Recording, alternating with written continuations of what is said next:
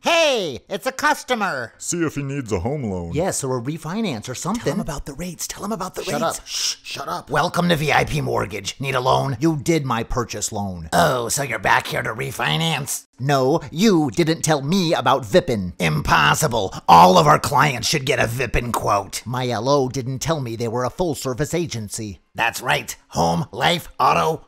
My LO said nothing. We waited forever for a quote. My closing was delayed. I don't believe you. None of our LOs are stupid. Uh, 铁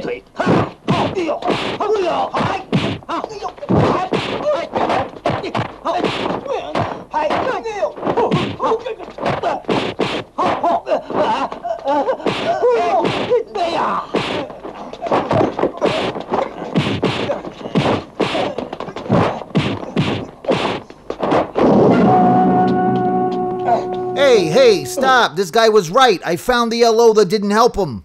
Yeah, see, I told you. Yeah, so, uh, we're sorry. Well, you should be.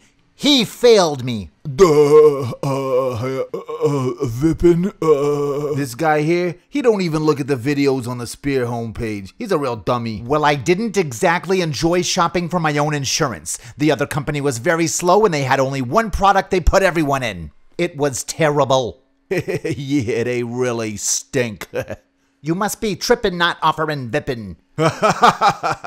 That's a really good one. You know what? I'll tell you what. You come back to VIP, I'll do your loan myself. I'll make sure that you get set up with Vipin. This guy won't even talk to you. Thank you.